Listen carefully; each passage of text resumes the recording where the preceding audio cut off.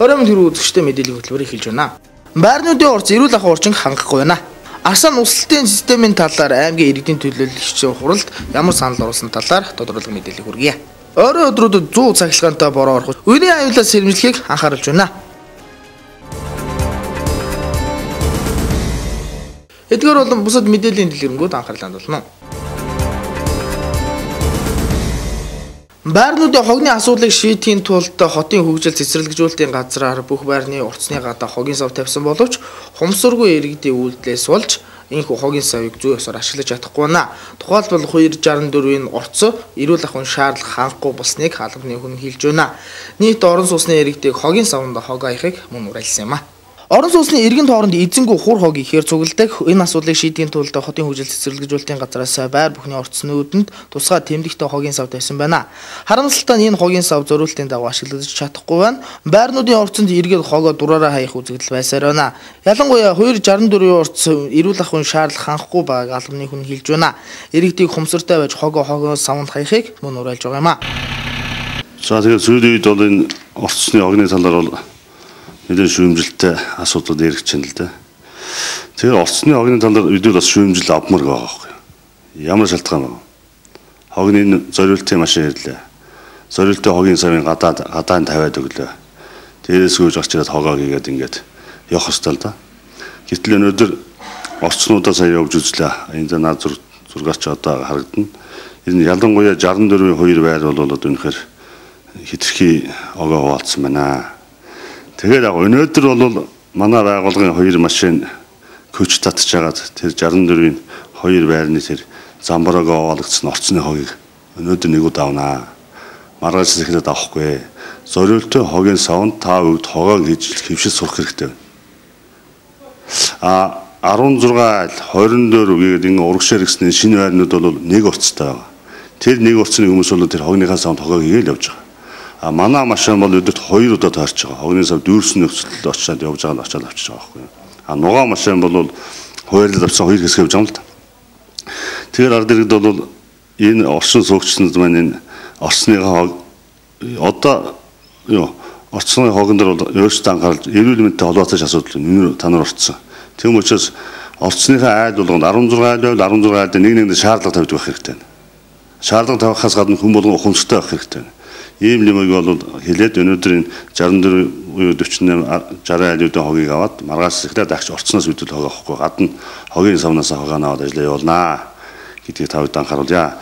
Аа тэгээд байр болгоны айл болгоны хаалган дээр өнөөдөр сумын застрын таван газар манай байгууллагаас одоо нэг ийм санамж гаргаж байгаа. Хогийн савтаа нэг ийм санамж дотроо нэг дөрвөн юутай юм хогоо зориултын савнд хийж хэвшчихээ гэсэн орцноо орцноос хогоо авахыг анхааруулна гэсэн юм байгаа. Орцны үйлчлэгч жижүүр энэ үйл ажиллагаанд анхаарал хандуулна хамтан ажиллана гэсэн нэг иймэрхүү юмнууд орсон байгаа. Өнөөдрөөс энэ сумын засгийн хамгаалалт манай байгууллагаас хүмүүс явж бүх айлуудын хаалгандаар хадаж анхааруулж тавина. Тэгж хэлнэ.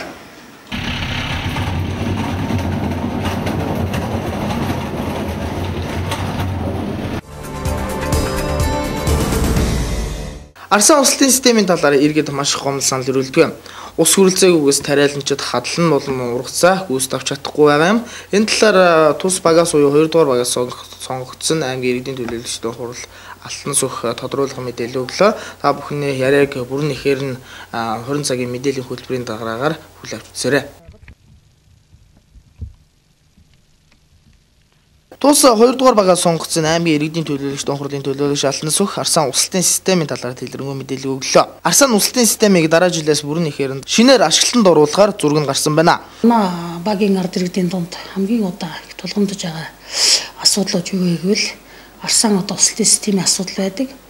За энэ багийн арчин бол ерөнхий онцлогтой улаан гомын баг боловч нэг хэсэг одоо иргэд нь бол хөдөө амьдардаг мал маллаж одоо малтаа буюу малчин өрх нийт 161 байгаа. За бусад өрхөн бол улаан өмсөм энэ дөрөв дугаарагийн нутагт буюу энд одоо бас ажиллаж амьдардаг байгаа. Тэгээд одоо эрхлэх гол ажил нь бол мал маллах, мөн газар тариалан эрхлэх, мөн одоо хуваарь хөдөлмөр эрхлэх ийм одоо ажлуудыг хийд юм аа. Тэгэд нөхцөлийн системийн асуудал одоо яагаад тулгамдсан гол асуудал нь байдаг вэ гэвэл энд бол одоо хадлан тарих одоо бол ус хүнсний нугаа тарих одоо уссан одоо бүрэн одоо хөрөлцөөтэй бол. Тэгээд энэ усны хөрөлцөө бол одоо хамгийн их тулгымцсан асуудал маш их асуудалтай. Одоо энэ уснаас олж одоо иргэдийн дунд одоо түйгээр шорохгүй хоёр сэмэн иргэдийн дунд ч гэсэн одоо хил амдаа уулдаг. Мөн одоо тэр хадлан өсөлж байгаа ард иргэдэд ч гэсэн хоорондоо одоо хил ам одоо давгадахаар орох уу хоорондоо одоо муудалцах муудалцах зөрчилдөх одоо тэрч байтугай зодтолтож асуудал бол бас гардааг. За тийм учраас энэ асуудлыг бол бид бүхэн бас өмнөөс нь төлөвлөж тавьж явсан асуудал. Ингээд энэ асуудал бол өмнөх 4 жилийн хэмжээнд одоо яригдаж одоо нарсаа туслалын систем барих ажил бол зургнуудаа хийгдсэн байгаа. Аа тэгээд энэ одоо 13 онд ажил нь эхлэх байсан боловч бас одоо эхэлж амжаагүй. Одоо энэ 14 онд одоо энэ ажил бол одоо хийгдэхээр явж байна. За 13 онд энэ ажлыг хийлгэж эхлэхээр 12 онд хийгдсэн зургийн давыг хийлгэхээр асуудлыг тавьсан боловч зургийг эргэн харах одоо шаардлагатай гэдэг одоо үднээс одоо энэ ажил энэ 13 онд хийгдээгүй. Гэхдээ одоо 14 онд энэ ажил одоо заавал одоо зураг нэгдсэн ажил учраас хийгднэ гэсэн одоо юм одоо бодлогын хэмжээнд бол энэ асуудал яригдж байна. Мөн аймгийн засаг даргын 2012-аас 16 оны мөрөн хөтөлбөрт тус ажил багтсан гэдгийг хэлж байна. Та бүхэн аймгийн иргэдийн төлөөлөгч дууралын төлөөлөгчөд ярьж байна нэвтрүүлгийг 20 цагийн мэдээллийн хөтөлбөрийн дараа дэлгэрэнгээр хүлээвч үзээрэй. Орой өдрүүдэд ихэнх нутгаар борошгтул гол мөрний усны төвшин тухайн үед орсон хур борооны эрчимлээс хамаарч богино хугацаанд үерлэх нөхцөл бүрдэх юм байна. Тэгэхээр цаг уурын стандаас дараахан анхааруулга мэдээлэл өгч байна. Та бүхэн мөн 8 сарын цаг агарын урдчилсан төлөвийг дэлгэрэнгүйгээр хүргье. Ойрын өдрүүдэнд ихэнх нутгаар бороошхтуула гол мөрний усны төвшин тухайн үед орсон хур борооны эрчимлээс хамаарч нэмэгдэж богино хугацаанд үерлэх нөхцөл бүрдэнэ. Ийм голын найсаа болон голын эрэг дагуус өршөж тусаж буй ард эргээд аж ахуй нэгж байгууллага аялал зугаалгаар явж амарч буй иргэдэг үер усны авилаас онцгой нь анхаарч бага насны хүүхдэд тавих анхаарлаа дээшлүүлж голын эргийн дагуу тоглохгүй байхыг нийт эцэг эхчүүд болон тэдний асраа хамгаалагчдад онцгой нь анхааруулж байна. Та бүхэнд одоо 8 сарын цаг агаарын нурдчилсан мэдээ хүргэе. Энэ сард агаарын температурын сарын дунд чинь их нууруудын хотхор бас 18-аас 23 градус, бусад нутгаар 14-өөс 19 градус дулаан буюу олон жилийн дунджийн орчим байна. 1 ба 2 дугаар 10 хоногийн эхнэд ба сүүлч 3 дугаар 10 хоногийн сүүлчээр сэрүүс чуулрах нутгаар шөндөө 1-ээс 6 градус дулаан, 1 ба 2 дугаар 10 хоногийн сүүлчээр 3 дугаар 10 хоногийн ихэн ба сүүлчээр хөөрсөн дээрээ 0-аас 5 градус хүрч цочор хүүтэрнэ. Өдөртөө 10-аас 15 градус, бусад нутгаар шөнөдөө 6-аас 11 градус, өдөртөө 16-аас 21 градус дулаан байна.